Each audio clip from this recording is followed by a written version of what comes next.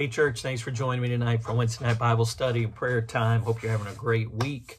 Uh, we're going to continue our study on the subject of love, and I hope that it'll be a help and an encouragement. Prepare your heart, and uh, we're going to share some more truths tonight from 1 Corinthians chapter 13. Before we do that, quick reminder check your email and you'll uh, find our missionary prayer letter update this week is from Canon and Nancy Bloom, Truth Baptist Church in Flushing. And uh, be praying for this young couple, pray for this exciting church plant, and uh, just uh, remember them in prayer tonight and this week, if you will. And then, secondly, open up our prayer bulletin and be praying for people and the, the many needs listed there. Of course, let's remember to pray for the nation of Turkey and Syria, and of course, to hit again this week with an additional earthquake. And uh, we always pray that God will use these tragedies uh, as an opportunity to uh, have the gospel go forth clearly. People begin to ask questions, people begin to search for answers. So uh, be praying uh, for uh, the, the, the dear people there and pray that the gospel would be able to go forth and people might be saved as a result. I also want to encourage you to be praying for Sunday. Uh, Sunday, we kick off our missions emphasis month. We've entitled it For Everyone. We believe that the gospel is for everyone on the planet. Every man, woman, boy, and girl deserves to hear the good news of Jesus Christ. And then we believe for every Christian, uh, for every one of us, it's not only a responsibility, but we have great opportunity and privilege to do something to share the gospel with others around the world. And so, uh, over the course of the next month, many of our missionaries are coming. We're going to have an international festival. It'll be a great opportunity for our hearts to be challenged. So I want to encourage you not to miss a week. Make sure you're here this Sunday. Our missionary Travis Dykes will be with us. He's a missionary in Botswana and in Ethiopia. And I want our church just to love on our missionaries, let them know that we appreciate them, we're praying for them, and let them really feel overwhelmed uh, and to be encouraged. And I hear it often. Our missionaries uh, say to me, We just love to be at all nations, and let's continue to, to make sure that's the case. So be here, be in your place, invite someone to come. And uh, he'll uh, he'll be in the services this weekend, and you'll enjoy that. So we're excited about that. If you have your Bible, uh, if you'll look with me, 1 Corinthians chapter 13, we began last week studying this idea of love, and really we've kind of entitled it Crazy Love, because the love we're talking about is not uh, a sensual, erotic love, or even uh, friendship, buddy love, and not really a love that the world or the unbelieving world would even be able to understand. Frankly, we, we can't even understand it uh, as Christians, uh, except to the fact that we have been recipients of this amazing love that comes from God. And we know it as the agape love, a love that is a choice, it's a decision, it's faithful love. It's not always um, a love that demands reciprocation. It just is a love that goes beyond what we deserve and what we can imagine, demonstrated to us by God Himself through the person of Jesus Christ. And now, as recipients, as children of God, we are told now to go forth in this love. We're to let the Holy Spirit work on us and to develop this same kind of love in our life. And it's a process, and and and it's uh, um, rewriting years of thoughts and, and behaviors and reactions that come natural to our flesh to love like Jesus, but yet that's what we're told to do. And the power and the impact of that is enormous. Uh, in 1 Corinthians 13, you'll remember Paul wrote of, really the priority that love needed to have. And uh, in our lives as a Christian, I mean, uh, people do a lot of things in life, uh, and they do a lot of things for a lot of wrong reasons. People that don't know the Lord, they have some uh, human love and familial love and um, selfish love in their life. And, and, you know, there's some product and result to that. But as a Christian, our love is to go far beyond that. It's to be a godly love, a spiritual love, a love that has eternal weight and eternal benefits. And so Paul would say, if you have this kind of love, he would describe it as in, in chapter 12, verse 31, a more excellent way um, it can make all the difference in the world. And so he, he would uh, use this comparison table and he would say, look, if I was the smartest guy around, I had some great talents and abilities. Uh, I had faith off the charts, and I could tell mountains to move here and there. If I was uh, such a, a, gift giver that I could feed all the poor, but I did all those things, and I did it without a heart uh, full of godly love, then the result would be uh, emptiness, uh, vanity, futility, uh, nothing. And it really, again, goes to that principle that God cares about the reasons why we do things. And how many of us, even as Christians, have done the right things, um, but without a heart full of love, uh, without love for Him, without love for other people. And uh, it's really uh, not been beneficial. We miss the reward and what could have been accomplished if we would have had the love that God had for us. And so he goes on and now becomes specific. And truth is, we could take weeks and weeks and weeks, but I guess as we go through these nine or 10 um, uh, products of love, evaluation markers, let's say, um, maybe you, you start thinking about this process and start evaluating in your own life. Does uh, do these characteristics describe the love that I have, uh, the love for God, the love for people? Um, do they describe my love? Have I seen the Spirit of God working in me? And uh, have I seen my love for others begin to change for the good? And he gives us some of these. Again, remember, John 13 34, Jesus said, Look, if you want the world to know you're my disciples, then you need to enact this new command. Okay, what's that command? That command is that you love one another. And so you're to love agape, love like me. What does that look like? And as we go through these brief descriptions, I think you come to the conclusion, like me, that wow, this describes the love that Christ had for us. Notice in 1 Corinthians 13, verse 4, charity suffers long. Sometimes we translate that to be patient, but suffers long is so much more descriptive. Uh, it, it doesn't just hold on for a little bit, it, it is uh, suffering. So it, it it's it, it, it infers that it's not an easy time period. It's not an easy journey. There's suffering involved and it is uh, lengthened. It's a prolonged period of time. Doesn't that describe the love that god has for us? I mean for most of us um, when we heard of christ and we didn't just jump uh, and, and believe the first time. I mean, it was a process, and the things that we've put him through. The Bible tells us in Romans 5 8 that when we were sinners, he died for us. He loved us, even though we rejected him, even though we didn't want anything to do with him. And he suffered long. And even though we are Christians now, for those of us watching who have believed, boy, we still fail him and, and we trip up. And when we should obey him, we don't. And yet he suffers long. And He's kind. What's interesting, if you read uh, these words in the Greek, there's different tenses and uh, that these words are written in, and, and a few of these uh, descriptions are written in the middle voice. And you say, what does that mean without getting too complicated? What that means is that uh, the the one who possesses this love is the one who purposes of his own accord to do it. It's not that something's being done to him, but that he has chosen to take the initiative and to put it into practice.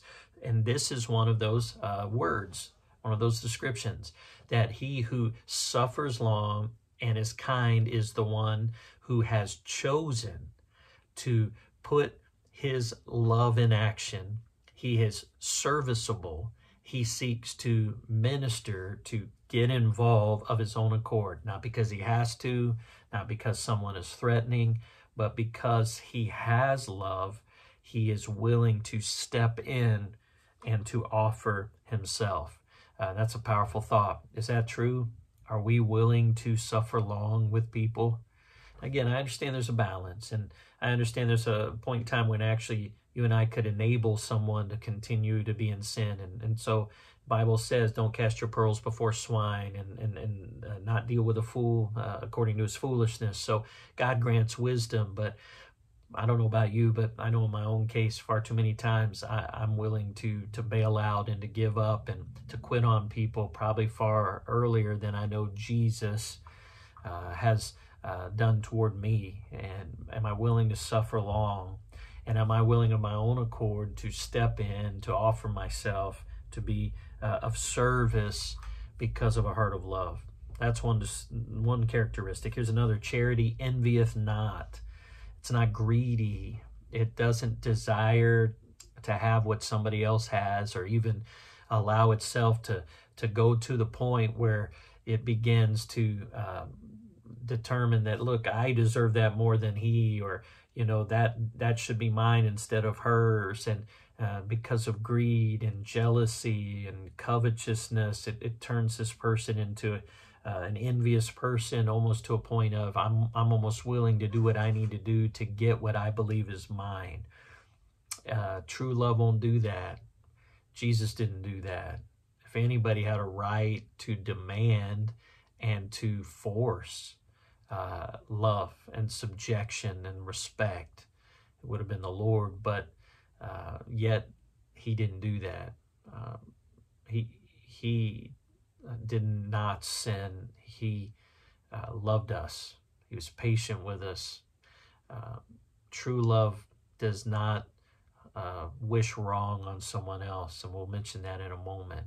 But it's not envious. Can you be happy with the success of other people? Can you be happy with God's blessings in other people's lives? Um, do you, does that bring you joy? Uh, that could perhaps be a telltale sign of what kind of love we have. Here's another charity vaunteth not itself. It's not puffed up. Here again is another usage of the middle voice. One who possesses that godly love uh, he's allowed the Spirit to work in him and he's trying to love like Christ. He has chosen not to catapult himself, to vault himself, to vaunt himself above others. He's not puffed up. Uh, even when he could take credit, even when credit may be due and deserved, it it is understood and it is accepted and the choice has been made that look i am not going to propel or advance myself above someone else if it means it's going to hurt someone else it's going to negatively outshine someone else. I'm not going to essentially think of myself before others. I'm going to keep myself humble is that true in your love relationships? Is that true at the office? Is that true in your home? Is that true in your marriage? Some of us live in loveless relationships, and that's revealed because we're always trying to one up each other. We're always trying to outshine and outdo one another rather than seek to put the other above ourselves. Here's another one, verse 5. Paul would say, Look, love godly love doth not behave itself unseemly. It's just not rude. It's not offensive. Look, we're all going to offend, but remember what Jesus said Woe to the one who offends on purpose. Um, he's always thinking through how does this affect other people? Now, again, ultimately, our first filter should be uh, how does this reflect on God? And then if it if we go through that filter, then uh, I would submit to you, then we will respond to people in the right way. Um, are, are we uh, unseemly and acting um, foolishly around other people? True love, God's love, seeks not our own. Um, it doesn't always seek for what is best for you in the moment personally. Again, Jesus in his humanity prayed, if there's another way, let this cup pass, but nevertheless, not my will, but your will be done. Um, are we always looking out for number one? Are we always to the point where, you know, push comes to shove? I don't really care about other people. I've got to get what I need to get, and I need to, to be in a position which I need to be in. Or are we willing at times to put others above ourselves? Or are we always seeking our own? We can seek our own and maybe get the things we want, but be alone. And that's not godly love We're not easily provoked. Wow, that's a big one. We live in New York City and provocation is everywhere. Uh, anger and short fuses and uh, just uh, overreacting quickly. But godly love doesn't um, get provoked easily. Stops, it filters, it thinks, it asks the bigger questions. How does this reflect on God? What's the, the, the long game in this? What is the big picture? What is the final result? And doesn't just react quickly um, and, and selfishly. Look, true love thinketh no evil. Again, middle voice word on purpose makes the effort not to choose to think badly or evil about everyone and everything. Some of us are geared that way. We become cynical through experience. Um, uh, it's it's easier at times to do that than to think good of people and to try to find um, uh, something that is positive. And again, I'm not talking about the power of positive thinking. I'm not uh, suggesting that we all bury our head in the sand and, and be oblivious. Ignorance is not bliss. But by the same token, some of us just go negative right away, and some of us uh, just prepare to be disappointed so that we'll never be disappointed. And um, when you're working with people, that's detrimental. And I mean, can you imagine if God looked at us and said, You're all a bunch of losers and you're all sinners? I know your frame and there is no hope and you can't save yourself. And so, what's the use? I'm grateful that He still loved us. He saw potential in us and saw how He could still receive glory from us by He Himself cleaning us up, redeeming us, saving us, indwelling us, filling us, and, and equipping us to do His work. It was all about Him. But his love is is revealed in that fact that he doesn't think evil of us all the time. He doesn't always chide. His anger doesn't last forever. Boy, that's a powerful, powerful um, uh, test and evaluation. Here's another true godly love doesn't rejoice in iniquity, but rejoices in truth. It doesn't uh, uh, find itself happy or joyful when wickedness flourishes, when people get in, unjustly um, treated. It finds joy and solace and comfort and, and peace in truth. Uh, that the truth won out, uh, that the truth was victorious. That's love. Love bears all things. Think of a cover. It covers. If you're a, a father, a husband, you seek to cover your family. Remember, the Lord is our banner, Jehovah Nissi. He covers us in our time of trouble. That I'm there. I'll take the brunt. I'll be that cover, my that shield for that person, that family member, that friend. Um, true godly love, the Bible says, believeth all things, has faith. It's it's willing to trust. Uh, some of us have gotten so cold and callous, we're not willing to trust. Um, and and then it leads to the hope we're not willing to to look ahead to presume to to um, uh, uh, have confidence in anything um, and and that's sad we're all new creatures in christ and with god all things are possible notice true godly love endures all things as it's the cover above it's the stability underneath it it's uh, stays under that look, everything else may change, but hey, dad or hey, mom, they're stable. They're going to love us. They're still there. I can count on that truth, um, just like God. Um, doesn't run when problems come, doesn't hide, doesn't uh, avoid. And uh, these are characteristics. I mean, the list could go on. And like I said, we could have a lesson on each, but ask yourself um, are these characteristics of the love I possess in my life for others. Now, if you're like me, you look at this list and you say, Yeah, I have some of these, and especially with this group of people or with that person, but no, not with that person. And, and we get it. And, and I would hope all of us would conclude that, look, we, we need to work on some things. And there's a certain people group or a certain uh, object of love that um, maybe we find that uh, we're not equipped and we're not there yet. And there's more growth that is needed. And that's the point over the next few Wednesdays, we're going to look at uh, uh, objects or targets for our love. And so, if we know these are the goals, this is the product, this is what it looks like to love like Christ, that you know we're we're to look like him and uh, that's how people know we're his disciples and so the, these all describe his love. Remember he didn't just love us he is love and so i'm to love like him and so i need to let him work on these things in my life and and toward all people uh, i pray that god will be able to do his work. And if he if we'll let him we'll keep working on these things will make a big difference Jude 22, the scripture saying, of some have compassion, making a difference, and will make a difference. Uh, will honor God, uh, will impact other people's lives, and we'll be blessed. So I challenge you, go back through, read this passage, and those areas where you know you need to grow, let God work in your heart, begin to pray, God, help me.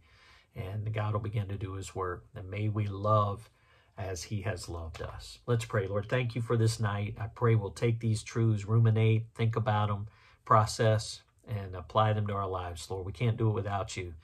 But thank you because of your love for us, we can do all things. So help us to represent you, we pray. Bless us the rest of this week. Help us to love a world for whom you died. We pray in Jesus' name. Amen. God bless you. Thanks for tuning in. And God willing, we'll see you this weekend. Looking forward to a great Sunday.